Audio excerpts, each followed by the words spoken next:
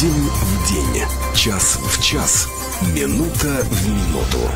Радио Болтком. Добрый день еще раз, уважаемые радиослушатели. Продолжаем работу в прямом эфире. И сейчас у нас на прямую связь посредством Зума выходит доктор экономики Сергей Губин. Добрый день, Сергей. Добрый день. Э, да, ну вот в первой части с другим экспертом мы больше, наверное, говорили о таких э, вопросах, связанных с вакцинацией и с организацией вот э, этой деятельности правительством. Сейчас, наверное, больше об экономике, разумеется.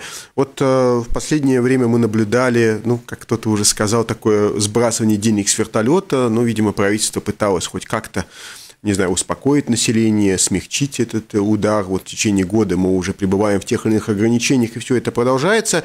Вот э, как вы к этому относитесь? Вы вообще сторонник вот э, таких вот э, разовых финансовых вспоможений, или все-таки вы сторонник такой более длительной оказания помощи, равномерной? Вот что лучше вообще для экономики и как действовать в этой ситуации? Прямо скажем, неординарной. Это очень необычная ситуация для э, многих стран мира. Э, нету э, какого-то рецепта однозначного. Но, как практика показывает, помощь нужно было делать, оказывать уже давным-давно, когда только принимались самые жесткие ограничения весной прошлого года. Сейчас правительство пытается ну, хоть как-то помочь э, людям, конечно, но это, это чересчур поздно, э, на мой взгляд. Э, невероятный. Во многих странах Европы так называемые вертолетные деньги разбрасывались, давались в помощь, на самом деле, очень рано, в очень большом количестве. Но это помогло в том числе и с эпидемиологической точки зрения, если у людей есть деньги, финансы, э, они могут соблюдать те ограничения, которые врачи, эпидемиологи вводят. В Латвии, к сожалению, это, это почти не так. Только недавно начались более-менее серьезные финансовые вливания, а в самом начале это был вообще кошмар. Да. Э, вот э, интересно, если мы говорим о прогнозах нашей жизни после ковида, ну, мы надеемся, что, дай бог, рано или поздно весь этот ужас закончится.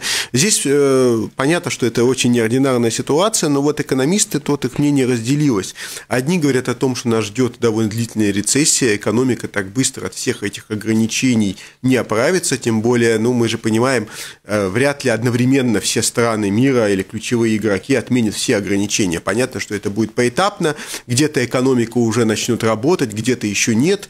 Это одно мнение. Есть э, более оптимистично настроенные экономисты, которые говорят о том, что как только, вот не знаю, кислород э, нам откроют, э, поскольку у людей ну, некуда тратить деньги, у многих и накопления какие-то обнаружились, начнется расти потребление, люди побегут по магазинам, начнут тратить. Я чуть-чуть утрирую, ну, вот такие две тенденции. Вот вы к какой группе относитесь, или, может, у вас свое какое-то мнение есть на сей, на сей счет?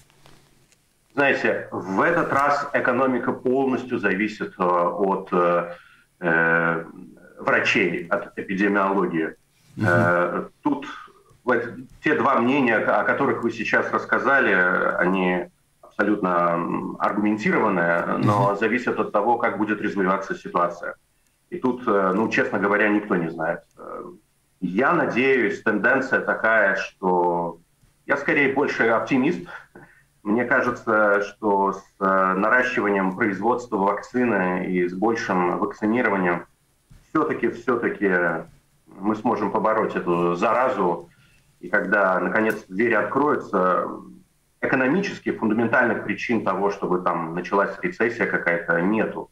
Действительно, у людей есть, некоторых людей есть деньги, особенно в богатых странах. Э, э, это видно по статистике количество э, вкладов в банки, например, э, растет э, в той же Германии, например. Соответственно, когда ситуация позволит, ну, эти деньги пойдут в экономику. Угу. И это затронет не только Германию или Францию, но и Латвию тоже. Угу. Так что я чуть-чуть оптимистичен. Угу. Да, наверное, вполне возможно, что вы правы, потому что есть такой косвенный признак, не знаю, вы согласитесь со мной или нет. Вы помните, когда вот началась ну, так называемая первая волна, ходили такие вот слухи или прогнозы, что вот-вот сейчас резко упадет недвиж... цены на недвижимость. Это, как мы знаем, один из признаков э, вот, кризиса, затяжной рецессии, как многие, наверное, проводили параллели с 2008-2009 годом, но ничего подобного мы не наблюдаем. Даже если мы посмотрим в Латвию, да, на очень дорогой сегмент жилья, может быть, цены несколько и снизились, но я думаю, для большинства населения, что 250 тысяч за дом, что 230, для них значения не имеет, у них таких денег никогда не было и не будет. Но вот так вот, если мы говорим даже о таком среднем сегменте жилья, советском, новое жилье, никакого такого резкого падения я не обнаружил. Может быть, я ошибаюсь. Совершенно верно, совершенно верно. Более того, когда вспомним лето, когда начались послабления, что мы заметили, да, количество людей в кафе, ресторанах резко возросло, э, желание путешествовать, Air Baltic э, говорила о том, что у них резкий, очень резкий рост букинга. Все, все факты все показывает на то, что все-таки, я думаю, нас ждет очень неплохой год следующий. Или, может быть, даже этот в самом конце, если действительно вакцинация пройдет успешно. Я надеюсь. Но это мое такое мнение. Угу. Да, вот э, если мы говорим о таком долгосрочном периоде, э, исходя из того, что когда закончится пандемия, вот премьер недавно бросил такую ключевую фразу, ну, многие ее подхватили, многие как бы скептически к этому отнеслись, о такой реиндустриализации. Правда, как это часто бывает, правительство, сказав А, не сказала Б, это может быть и неплохо, что наконец кто-то задумался о реальном секторе экономики, о промышленности, но вот как вот эту ре, реиндустриализацию осуществить, я так понимаю, никакой концепции программы нет. Пока нет. Э, это вопрос, э, что называется, на миллион долларов. Э, если бы знали, то бы сделали. Я думаю, они не знают, как это делать. Но идея хорошая. Есть разные способы, возможности. Есть специальные экономические зоны, например, их несколько в Латвии. Например, можно попробовать пригласить, привлечь крупного международного инвестора какую-нибудь большую компанию, которая бы согласилась открыть здесь завод индустри... индустриальный. Эм, это один из э, примеров. Что-то сделать э, с э, налогами. Сложно сказать. Ну, да, мы видим, Но что... Тенденция хорошая. Тенденция хорошая, да, но пока в этом направлении ну, мало что делалось. Э, я, если вы говорите да. о свободных экономических зонах, ну, на память приходит, там в Лепо есть свободная экономическая зона, в портовой территории, Даугавпилс, если... Не, Резекна, я извиняюсь, да. То есть, в принципе, есть вот такие, э, вот, э, такие механизмы, да, только их надо задействовать. Совершенно верно. Проблема в том, что э, на бумаге это было сделано достаточно много, они неплохо очерчены, и понятно, э, более-менее вот где они находятся, что с ними есть. Но, к сожалению, в реальности, вот самое, наверное, успешное, это Лепойская экономическая зона, там действительно происходят э, интересные события. Э, Латгальская экономическая зона много лет э, совершенно пустовала. То есть они провозгласили эту зону, вот как она там была, так и осталась. Ничего там не происходило. И буквально только в этом году, по-моему, или даже в прошлом осенью открылись пару каких-то предприятий, по-моему, одно белорусское и, по-моему, что-то еще. Э, то есть э, нужно более активно э, в этом плане работать. Просто так, написав закон и проговорив это на пресс-конференции, этого мало. Есть организация латвийская ассоциация, нет, как же это называется, ЛИА, латвийское... Э, агентство инвестиций и развития, да. Совершенно верно, да, да, да. Э, агентство развития инвестиций. Оно должно работать более э, интенсивно. Так, например, как работают в Литве. Что интересно, если мы посмотрим, как инвестиции происходят в Литве, они гораздо более крупные, чаще. Нам надо брать пример наших соседей. Да, это точно. Вот э, интересно, вот мы говорим о реиндустриализации, есть еще одна проблема. я имею в виду транзит, э, транзитную отрасль, пока вместо того, чтобы, не знаю, предложить какую-то стратегию, не знаю, оживления транзита, мы знаем, что сейчас у нас происходит с грузооборотом, ну вот латвийские порты впервые за долгое время уже отстают и от Клайпеды, и вместо этого нам предлагают какие-то, не знаю, там, пересаживания чиновников, да, вот эти все истории с созданием Capital Cyber э, на базе, так сказать, вот этих портов. А что это, собственно, изменит? Ведь это никаким образом не будет способствовать притоку грузов. Вот эти все пертурбации чиновничьи, э, какое имеет отношение к работе стивидоров, грузам и так далее? Вы правы. Да, транзит это, это сложно честно говоря. Эм, сейчас эм, политическая ситуация, к сожалению, очень э, напряженная. Ну, все мы знаем, э, Россия свои грузы э, переваривает, переваривает. Она да. свои грузы ведет через свои собственные порты рядом с Санкт-Петербургом, по большей части Усть-Луга, Высоцк и другие. Приморск, да. Угу. Соответственно, сложно, конечно. Знаете, тут э, есть несколько стратегий. Одна просто переждать и надеяться работать с, с россиянами, надеяться на то, что предложить им лучшие условия.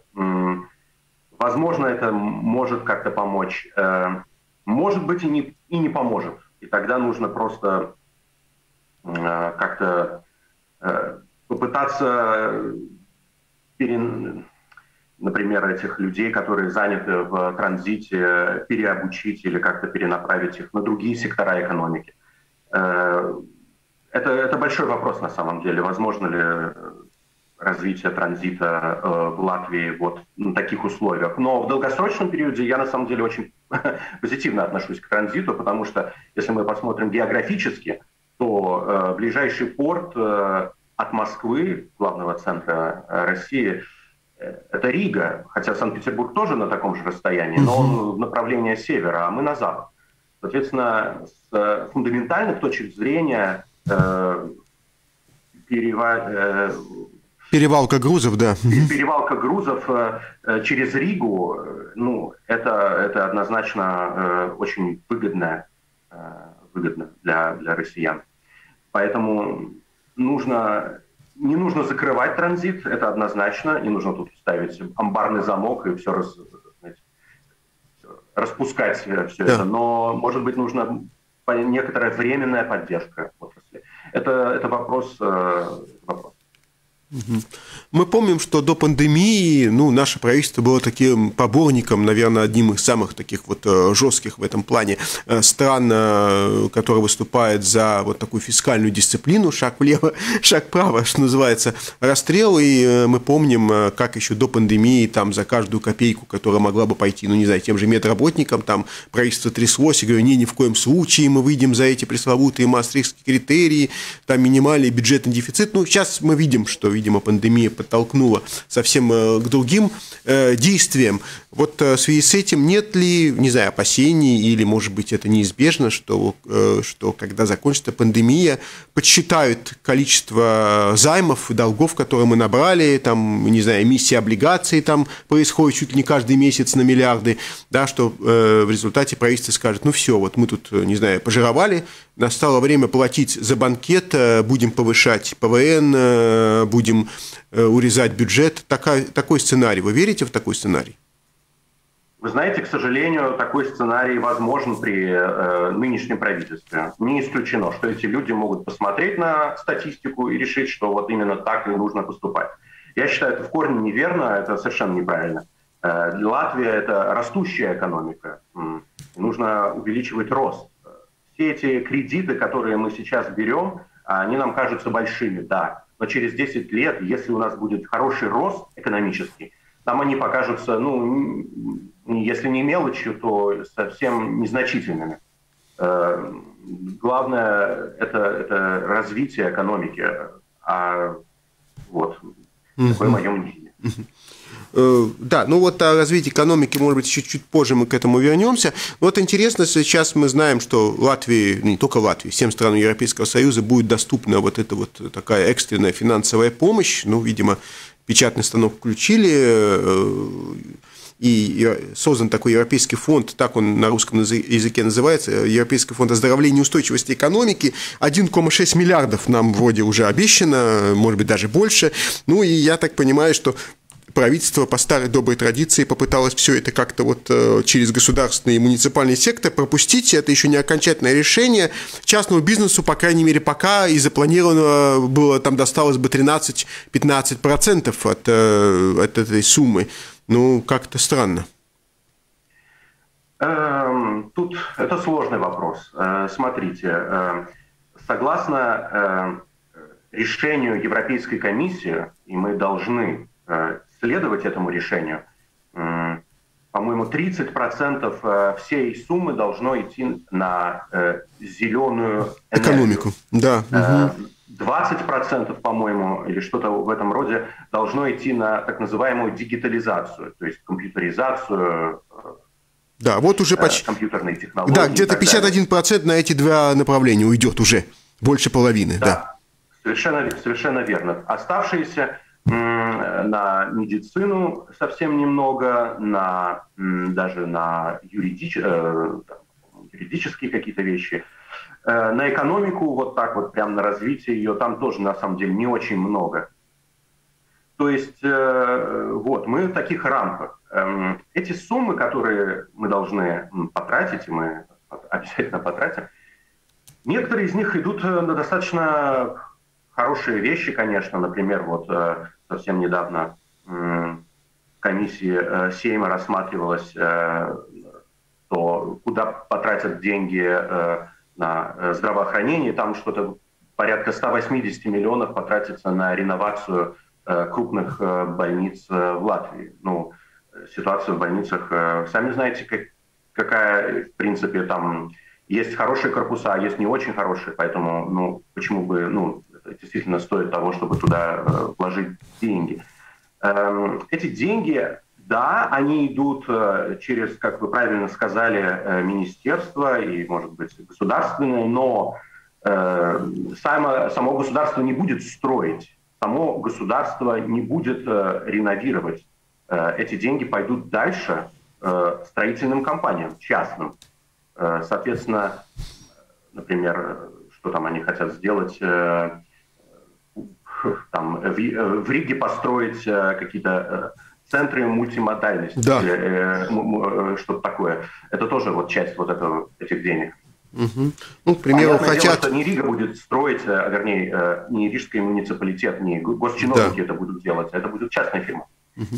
Ну, вот Э, нет ли слишком большого упора, при всем уважении, я, естественно, к ним тоже большим уважением отношусь, э, не слишком ли большой упор на строительство? Да, мы знаем классику разогрева экономики еще со времен э, пост, после Первой мировой войны, вот активизация экономики за счет строительства, там, не знаю, дорог, домов, офисов, производственных корпусов, это, это понятно, с одной стороны, да, но с другой стороны, ну, есть и другие у нас сферы той же экспортной экономики, не слишком мы большой упор делаем, я почему почему спрашиваю, совсем недавно там 222 миллиона было направлено на проекты, как было нам сказано, высокой готовности, чтобы уже вот э, в течение этого года можно было активизировать это строительство, но не забываем ли мы таким вот образом другие сферы экономики? Э, да, хороший вопрос на самом деле. Э, строительство тут так трудно сразу сказать. Я думаю, что все-таки нет. Вы знаете, э, опять же, говоря, например, о новых корпусах э, для больниц, э, ну, это то, что надо было делать уже очень давно. К сожалению, у нас просто не было денег. Поэтому мы все откладывали, откладывали, там все это разрушалось, разрушалось, эти коридоры жуткие и там санузлы. Эм, то есть это скорее то, что мы просто раньше не делали, и вот, слава богу, появилось деньги, и теперь наконец-то. Но то есть, тут тут такой вопрос, что, скорее всего, мы ну, просто обязаны туда вкладывать. Э, так получается, что да, это строительство. Но э, отложенные такие, отложенные э, инвестиции. Эм, другие, другие сектора экономики, я надеюсь, от этого тоже выиграют. Тот же здравоохранение. Те корпуса, они же будут использоваться дальше для того, чтобы лечить людей Конечно. да, вот. Я считаю, что все-таки много вещей, которых нам нужно было построить, мы из-за неимением денег их не строили, и вот, наконец-то, ну, не было бы счастья, да несчастье помогло. Э, Сергей Губин у нас э, на прямой связи, доктор экономики. Я вас попрошу оставаться на связи, буквально короткая э, пауза, а потом мы вернемся в эфир. Мы знаем, вы слушаете. Радио Болтком.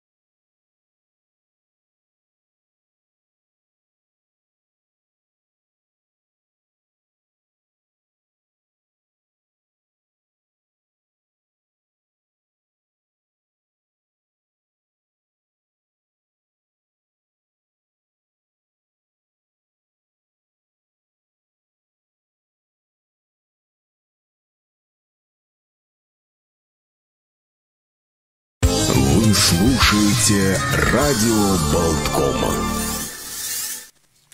Добрый день еще раз. Сергей Губин, напомню, у нас прямой связи, на прямой связи, доктор экономики. Вот э, проект, с которым э, многие связывали большую надежду, и вроде бы действительно так это и есть, с учетом вот тех больших инвестиций, которые ожидается в рамках реализации РАЛ Балтика. Что вы по этому поводу думаете? Вроде бы пока все выглядит очень даже хорошо, я имею в виду, если действительно этот проект будет э, реализован, с одной стороны. С другой стороны, наверное, это уже следующий этап, когда эти поезда пойдут э, то это в основном, мне кажется, только пока минусы, не плюс, э, поскольку у нас хорошо налаженные авиасообщения и вот э, как это все будет себя окупать, это, наверное, тема, наверное, отдельного разговора, но тем не менее. Э, да, вы совершенно правы. Rail Балтика начало начала, начало строительство. Э, может, каждый может посмотреть на то, как там экскаваторы работают рядом с центральным вокзалом в принципе, мое отношение к проекту положительное, э, в первую очередь потому, что это все деньги Европы. Э, мы на самом деле достаточно немного, относительно немного тратим э, на все это удовольствие, а Европа раскошеливается.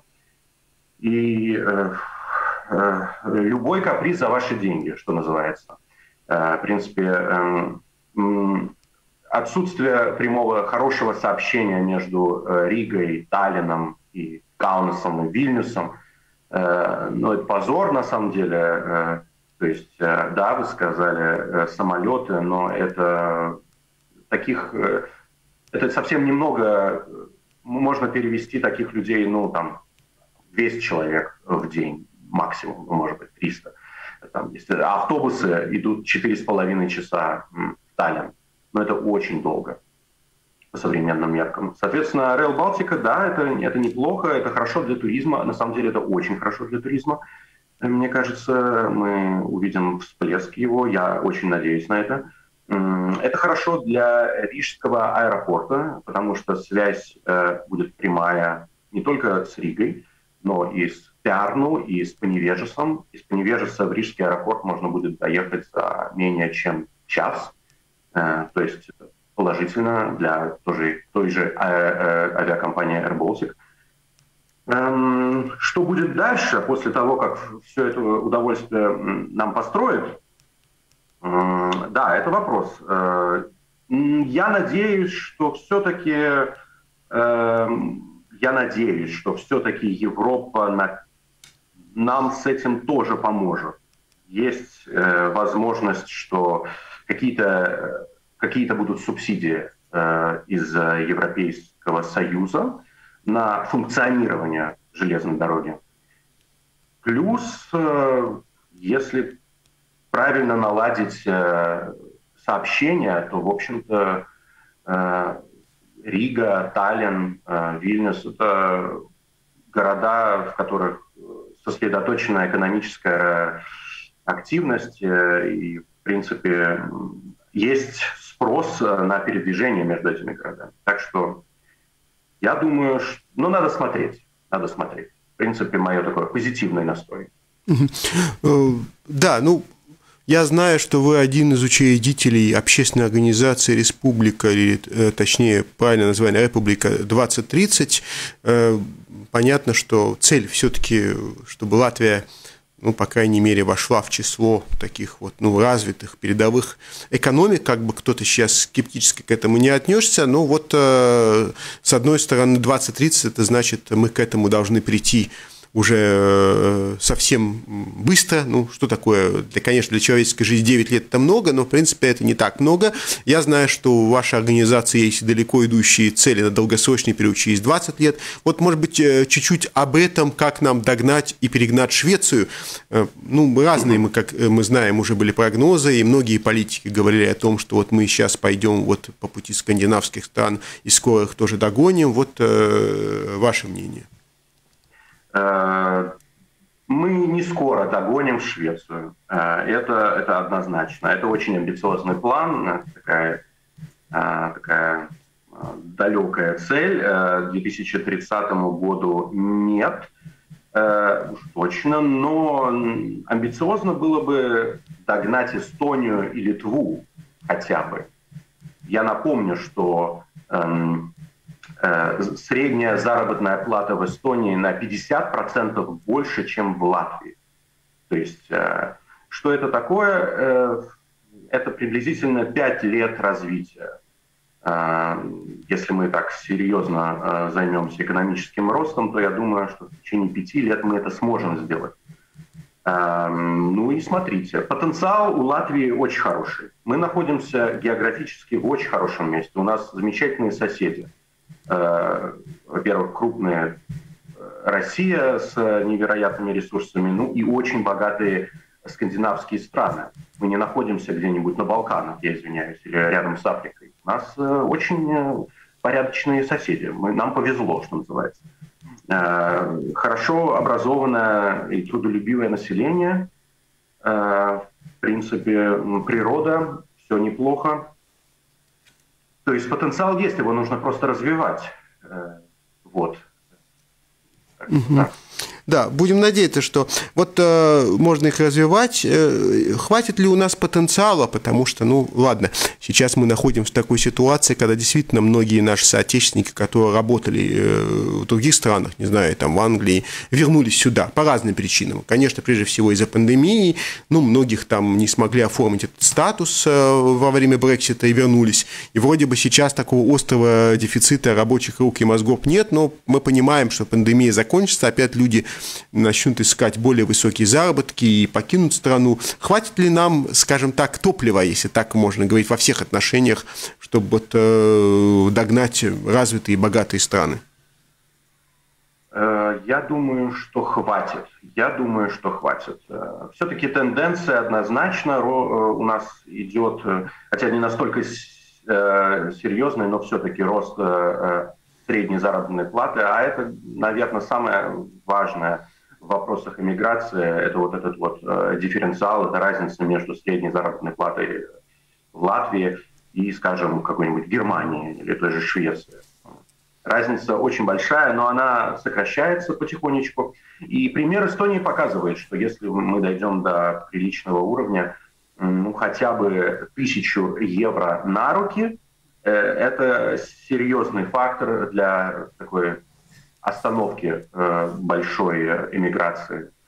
Эм, нужно к этому идти, и если мы придем, я надеюсь, что после пандемии э, у нас, возвращаясь к нашему, к вашим первым вопросам, все-таки у нас произойдет некоторый всплеск э, деловой активности. Для этого нужны будут э, люди.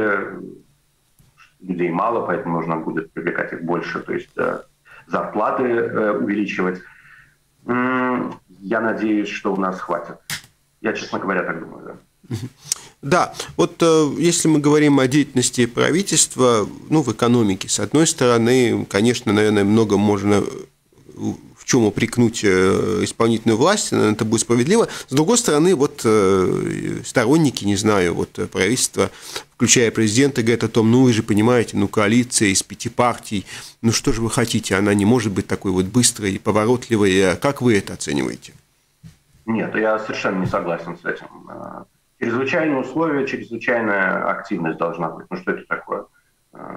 Нет, ну при разных обстоятельствах по-разному конечно, можно и действительно очень медленно, но мы же видим, что сейчас происходит. И надо просто смотреть на другие страны, как это в других странах происходит.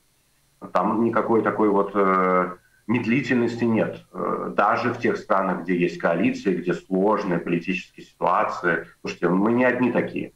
Э, но у нас единственная страна, где вакцинация так медленно происходит. У нас еще мы и Болгария. Вот два, два самых отстающих две самые отстающие страны в Европе.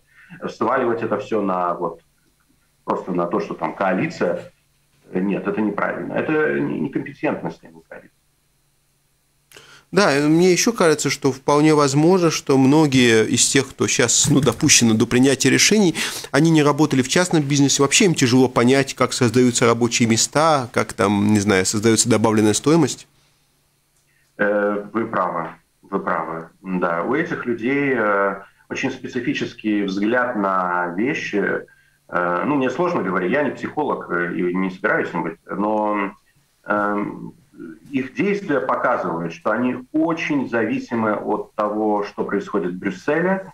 Они следуют инструкциям. Мы так называемые прилежные ученики Европы. Мы действительно все делаем согласно инструкциям. Э, иногда это хорошо, иногда это хорошо, но вот в таких э, сложных условиях э, нужно иметь собственную инициативу, проявлять собственную инициативу. И вот тут вот возникают проблемы. Мы ну, не готовы может быть, такой, ну вот завершая наш разговор, может быть, такой вопрос. Я понимаю, что он концептуальный, но он очень важный, потому что мы говорим о необходимости привлечения инвесторов, да, вот, ну, чаще всего иностранных, да, о том, чтобы они здесь создавали какие-то, ну, не знаю, хабы, не хабы, но, по крайней мере, чтобы мы, может быть, в этой цепочке э, глобальных корпораций э, тоже находились, да, что-то производили, с одной стороны. Но если мы говорим об условиях, мы видим, что сейчас происходит, ну, я думаю, что у многих инвесторов даже возникнут проблемы с тем, чтобы открыть счет в Латвии.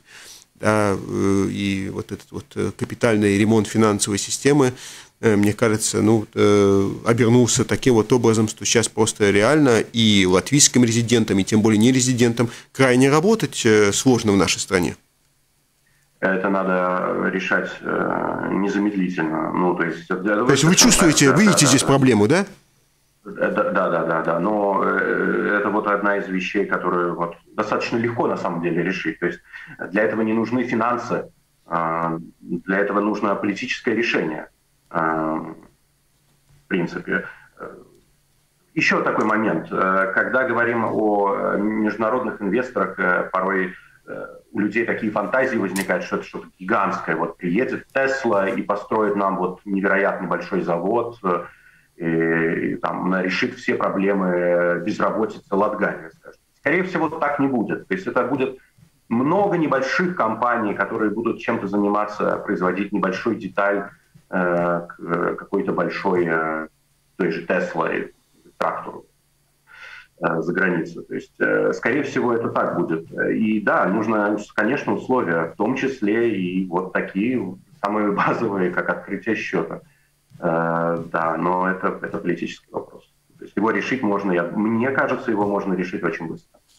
Угу. Да, потому что я понимаю, что есть какие-то определенные требования, и, наверное, бороться с отмыванием средств, э, добытых преступным путем или тем более с финансированием терроризма нужно, да, но не подозревать же всех и за любой инвестицией, за любым перечислением из-за границы видеть вот, вот эту какую-то преступную составляющую. Совершенно верно. Мы перегнули палку. Все просто, как обычно. следуем инструкциям, э, знаете, по полной. Э, ну, ну, ну, нужно здравый смысл тоже. Угу. Понял, спасибо большое. Ну что ж, э, будем надеяться действительно на здравый смысл во всем и на то, что все-таки действительно это прогнозы на оживление экономики после того, как будет сняты вот эти ограничения, э, произойдут. Когда это, наверное, произойдет, сейчас сложно гадать. Будем надеяться еще летом. Э, Сергей Губин у нас был на прямой связи, один из учредителей общественной организации «Республика 2030», доктор экономики. Большое спасибо. Спасибо с городом. Радио.